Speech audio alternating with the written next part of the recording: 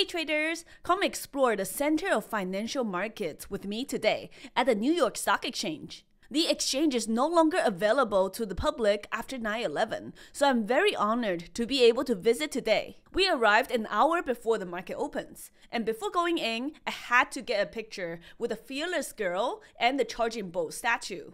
Inside the New York Stock Exchange was even more eye opening. There were charts and flashing numbers everywhere on screen. It was very humbling to be at a place with so much history.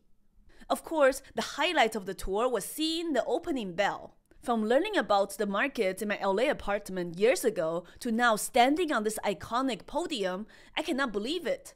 It's a reminder that dreams do come true if you put in the hard work. And no trip would be complete without chatting with my friend Peter Tuchman, aka the Einstein of Wall Street. If you want to learn from this Wall Street legend, you can watch the full interview in my YouTube video.